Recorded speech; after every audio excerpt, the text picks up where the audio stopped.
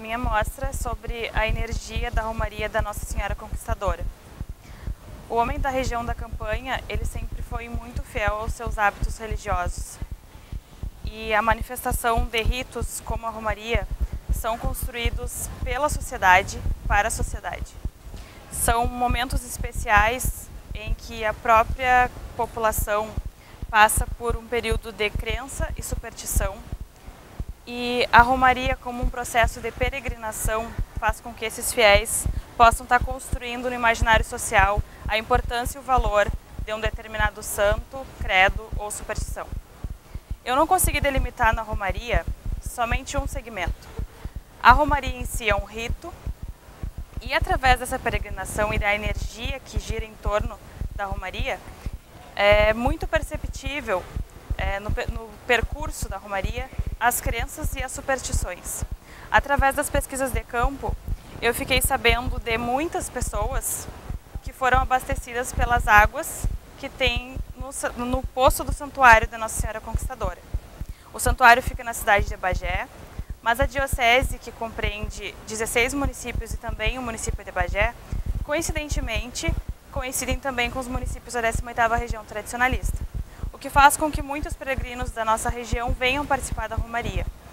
Eu, através das pesquisas de campo, fiquei sabendo de várias cidades que vêm com excursões todos os anos. A Romaria acontece há 42 anos na cidade e existem outras romarias e procissões muito importantes na religião da cidade, mas não tão expressivas quanto essa. Uh, eu conversei com o Dom Gílio, que é o bispo da cidade, e ele foi me contando alguns aspectos históricos e sociais também da Romaria. A Nossa Senhora Conquistadora, ela tem uma importância histórica muito grande no Rio Grande do Sul, desde os tempos da criação dos sete, sete povos das missões. Os índios eram muito fiéis às suas crenças, e inclusive por esse aspecto, delimitavam muito o trabalho dos padres. Porém, houve uma epidemia que eles não conseguiram vencer e eles aceitaram que os padres interferissem então eles recebem a imagem da Nossa Senhora Conquistadora, que na época ainda não era Nossa Senhora Conquistadora, mas a, as santas em geral, conhecidas como a Mãe de Jesus, eram chamadas de Nossa Senhora. Através da própria conquista da santa naquele território indígena, ela ficou conhecida como Nossa Senhora Conquistadora. A partir de 1830 começam essas nomenclaturas no Rio Grande do Sul. Essa santa, eu vou mostrar para vocês aqui as imagens, ela teve uma evolução histórica foi mudando pouca coisa da imagem dela, a vestimenta. Aqui eu retratei essa penúltima e essa última eu consegui a peregrina que fica na diocese, da, no santuário da Santa aqui em Bagé. E aqui tem a reprodução da cobra. Essa é uma santa que ela pisa na cobra e ali a maçã representando o, a prática do pecado, né? Então a santa que combate o pecado eu também abordei muito na minha pesquisa a parte de educação patrimonial. Eu acho de extrema importância esse tema, não só pela amostra, mas como forma de instigar a curiosidade das pessoas em ritos, crenças e superstições e outros aspectos religiosos que vão se perdendo com o tempo. E através da educação patrimonial é uma forma da gente perpetuar o que a gente recebeu das outras gerações e mostrar o valor para as novas gerações eu não sou, não era devota da santa, nunca tinha participado da romaria até o ano passado. Então, quando eu fiz a pesquisa, eu resolvi participar e aí então eu consegui direcionar o tema da minha pesquisa para a energia que gira em torno da peregrinação da romaria. É, infelizmente, não tenho como descrever com palavras, porque o percurso é curto, mas as pessoas choram, as pessoas vão de pés descalços e não reclamam de dor. Eu conversei com algumas pessoas no caminho e elas relatam histórias de participarem da Romaria há anos. E muitas pessoas me falaram é, da satisfação do santuário poder é, prover essa água no período de seca, na década de 80 aqui na cidade. Então, principalmente a comunidade local ali abraça muito o santuário e tem uma devoção e um carinho muito grande, não só religioso, mas é muito perceptível o afeto das pessoas com a santa e com o santuário.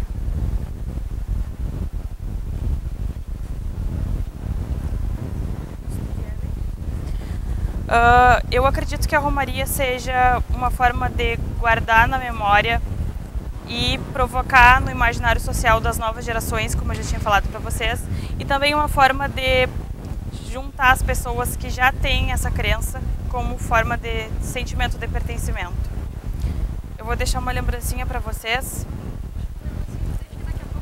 Tá bom.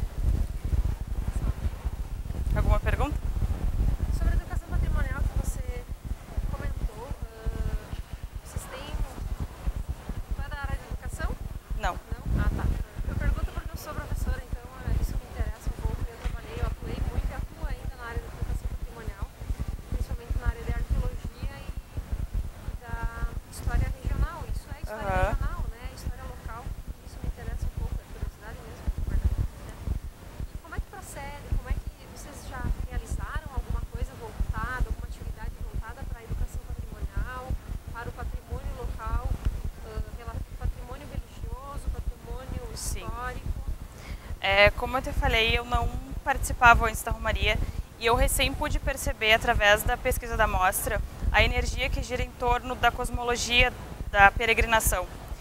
Eu gosto muito de história, eu sou formada em publicidade e propaganda, mas eu comecei um mestrado em patrimônio cultural e memória social, que foi o que me voltou para esse lado. E eu comecei a estudar a educação patrimonial e foi o que me despertou essa parte. Uh, quando é cultivado esse tipo de ritual ou que seja crença ou superstição na comunidade, uh, eu sou o próprio exemplo disso. Eu não fazia parte desse universo.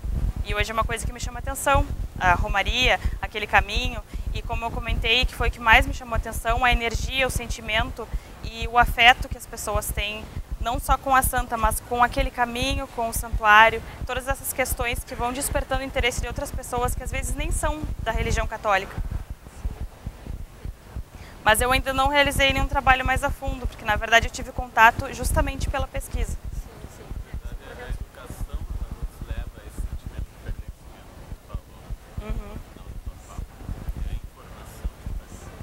Sim. E eu não tinha o conhecimento. Que você foi se informar acerca do assunto. Sim. Você adquiriu. É, eu tenho a impressão que a própria população bagiense, a Romaria ela é muito expressiva em número, e toda a região participa. Mas a própria população bagiense, às vezes, por falta de conhecimento, por falta de informação, fica um pouco à parte. Mesmo os católicos que acompanham uh, frequentemente a Igreja Católica podem não ter conhecimento de toda essa energia que gira em torno da Romaria. Certo, parabéns. Obrigada. Parabéns pelo trabalho, Obrigada. sucesso. Até Obrigada. Amanhã. Até amanhã.